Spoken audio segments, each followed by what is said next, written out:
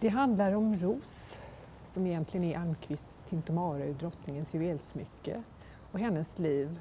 Nu är det ju så i Almqvists bok att han eh, äh, Tintomara har ju inte några riktiga känslor utan hon speglar ju andra människors känslor hela tiden. Så att, eh, jag tänkte som så att tänk om hon har en verklig förlaga. Så jag ville skriva om Ros då och hennes liv så att säga. Och det blir en slags parallellhandling till Almqvists liv. För hon, hon är ju formad av honom och hon, eh, hon följer honom hela livet. Så att de träffas i Finland på något som heter Fagerviks herrgård när hon är ett litet, en liten flicka. Och han tar sig an henne som ett eh, projekt helt enkelt. Och sen följer hon med honom till Stockholm och Klarakvarteren. Och hon lär känna en, en flicka som heter Emilia Högqvist som hon blir förälskad i. Och jag ska säga också att eh, för att få eh, följa med Almqvist och bli hans övr så måste hon vara en pojke. För att det är bara pojkar på den tiden som får en ordentlig utbildning. Så Ros är en pojke så att säga under den här tiden. Utöver Finska viken ligger dimman kvar och då Louis drar i repet som håller gammelbåten tjudrad är det som att se ett vidunder bådas fram ur töcknet. En finndrake med lång smäcker hals, ljudlöst seglar han. Plumsa i här, säger min lärare, men varligt, ty stenarna är hala och förrädiska och min kära ros kan lätt fara under och bli borta för mig.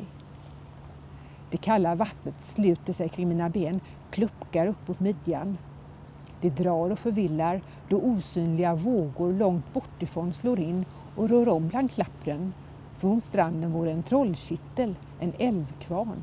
Den gamla operan som jag skriver om finns ju inte längre så där kunde jag ju i princip, det är klart det finns en ritning men jag menar jag kunde dikta väldigt fritt där. Och i min roman är den ju, trots att byggnaden i verkligheten var ju inte så väldigt gammal, så, så är den ju i, i Lacrimosa så suger den på något vis vatten från Norrström hela tiden så den mörknar och sjunker hela tiden i, i, i fukt och lite så. så. Jag kallar ju den för Stora odjuret. Så att, eh, jag ville att det skulle vara ett, en, en, eh, en sinnebild av det här lite sjuka i det förhållandet mellan Almqvist och Ros och Emelie.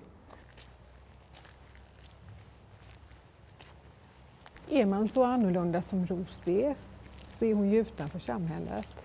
Hon kan ju aldrig, jag menar hon kan skaffa sig bildning men hon är ju inte en man. Hon är ju inte riktigt en kvinna heller för hon har ju den här bildningen. Så att hon passar ju inte in någonstans helt enkelt. Så det blir ju en, naturligtvis blir det en sorgsenhet hos den figuren. Platon, där är ju, han har ju en idealstat där de här androgynerna har eh, har sin plats naturligtvis, men i, i Ros värld finns det inte, är det ingen idealstat. Det är Stockholm på 1800-talet och där finns inte plats för den typen av kvinnor.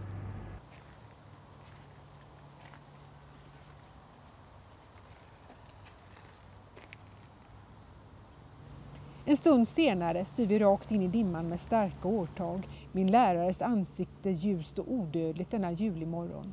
Och jag tänker att Louis Almqvist är den enda man Ros någonsin kommer att älska.